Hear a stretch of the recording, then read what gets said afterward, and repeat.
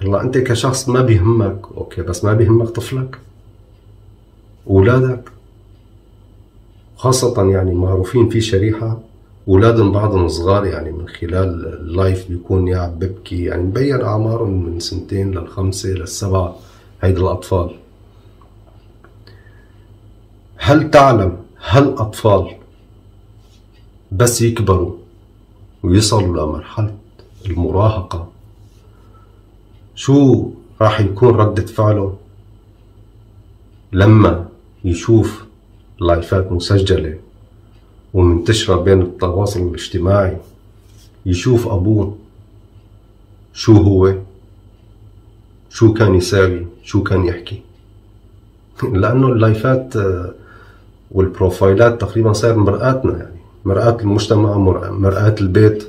مشينا أم أبينا اللي بيطلع بيحكي قد ما يز... يعني قديش ما بده يزيف أو آه، إن كان نحو الإيجابية أو السلبية. يعني ما بالمية الخمسين يعني عم بيحكي شيء آه، من من أخلاقه وأدبه وثقافته يعني. لابد منه.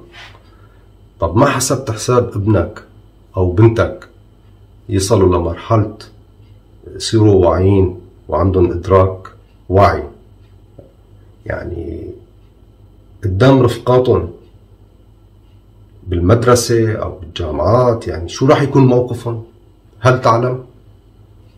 هل تعلم هالولد أو هالبنت شو راح يصير فيهم؟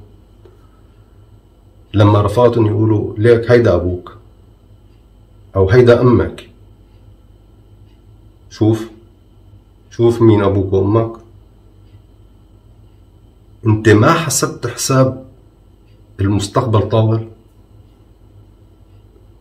هل تعلم أنه هالطفل بهالمرحلة بعمر المراهقة لما ينحط بهيك موقف؟ لأني مثل الأعلى هو الأب والأم بالحياة. تعرف شو راح يكون موقفهم؟ تعرف قديش بده ينكسر قلبه؟ وقديش بده يزعل ويكتئب؟ ويحزن. ليش طيب ليش ما أخلي ابني يفتخر فيني؟ بسيطة جدا.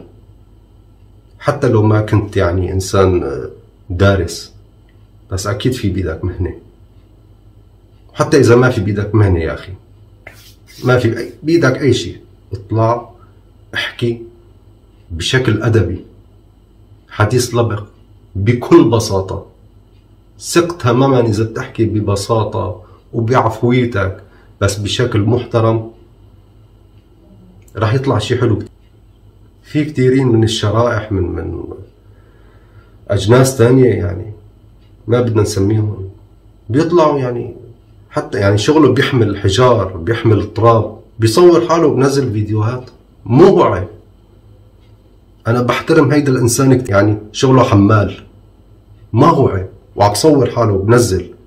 بالعكس هيدا الولد بس يكبر راح يشوف أبوه كيف كان يتعب مشانه.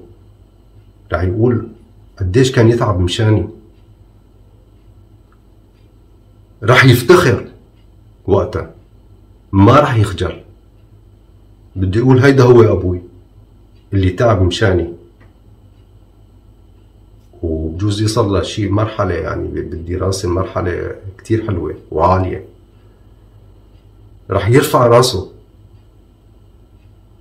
بس أما يعني يعني حرام كتير حرام. اللي عم تطلعوا بتساووه. إن كان يعني من الرجال أو النساء. طب إذا ما بيعنوا يعني يعني ولا فرقة معك حتى أطفالك يعني شو هيدا المفهوم يعني؟ ليش بتجيبهم على الحياة؟ وين المسؤولية؟ وين الوعي؟